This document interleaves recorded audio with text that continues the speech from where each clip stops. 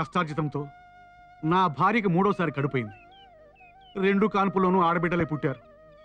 ఈసారైనా నాకు మగబిడ్డని పైగా యాభై లక్షల ఆస్తికి వారసుడిని పుట్టేలా చేయి స్వామి. మీకేమాత్రం నా మీద దయ ఉన్నా ఈ కొబ్బరికాయ పగిలి ముక్కలైపోయి ఆ పగిలిన ముక్కల సరిసంఖ్య అయితే ఆడ బేసంఖ్య అయితే మగ మహారాజు బేసంఖ్యే ఎలా చూడు స్వామి. హరహర మహాదేవ్ శంభో శంకర.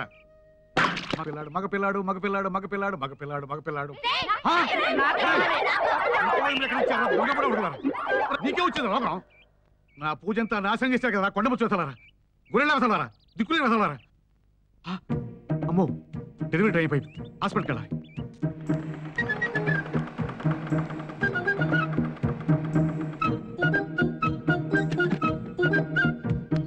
సిస్టర్ మా ఆవిడకి డెలివరీ అయిందా? మగపిల్లాడు పుట్టాడా? ఇప్పుడే లేబర్ రూమ్ తీసుకెళ్ళారు. నాలుగు ఇంజక్షన్లు ఎక్కువేసినా సరే మగపిల్లాడు పుట్టేలా చూడండి.